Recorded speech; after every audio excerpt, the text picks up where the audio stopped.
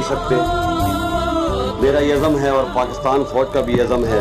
تم کو بھول نہیں سکتے یہ یاد ہی اب تو جیون ہے جب تک ہم ہر بچے کے خون کا حساب نہیں لے لیتے، ہم آرام سے نہیں بیٹھیں گے۔ تمام پاکستان فوج اور تمام ادارے لوائقین کے ساتھ کھڑے ہیں۔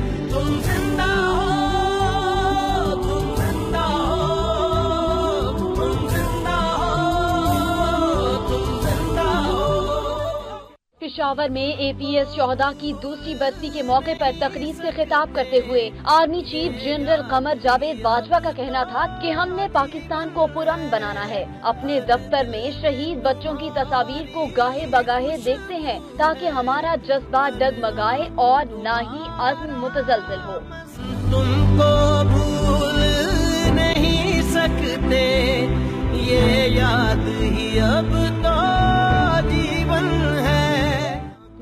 قمر جاوید باجوہ کا کہنا تھا ہم نہ بچوں کی قربانیوں کو بھولیں اور نہ راستے سے بھٹکیں۔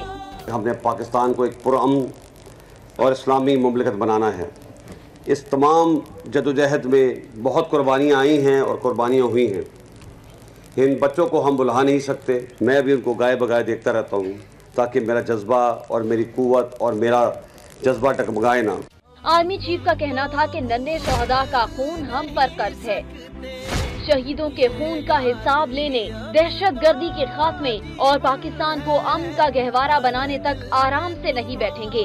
میرا یہ عزم ہے اور پاکستان فوج کا بھی عزم ہے کہ ہم اس وقت تک جب تک ہم ہر بچے کے خون کا حساب نہیں لے لیتے، جب تک ہم پاکستان سے دہشت گردی کا کلا کما نہیں کر لیتے، پاکستان کو دوبارہ سے امن کا گہوارہ نہیں بنا لیتے، ہم آرام سے نہیں بیٹھیں گے۔ جنرل قمر جاوید باجوہ کا کہنا تھا کہ تمام ادارے لواحقین کے ساتھ کھڑے ہیں۔ یہ زخم بہت گہرا ہے جسے مکمل طور پر بھرنا ممکن تو نہیں، لیکن انہیں کچھ کم ضرور کیا جا سکتا ہے۔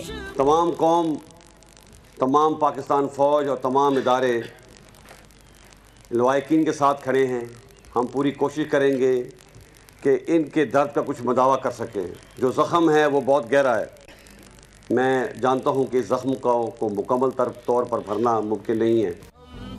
انہوں نے کہا کہ ہماری پوری کوشش ہے کہ دہشت گردی کے خلاف جنگ کا خاتمہ جلد از جلد کیا جائے تاکہ پاکستان پھر سے ایک پرامن اور خوبصورت ملک بن سکے۔ اس سے پہلے آرمی چیف نے اے پی ایس کے شہدا کے لیے فاتح خوانی کی اور ان کے ایسال ثواب کے لیے قرآن خوانی میں شرکت کی۔ انہوں نے شہدا کے لواحقین، اسکول کے بچوں اور اسٹاف سے بھی ملاقات کی۔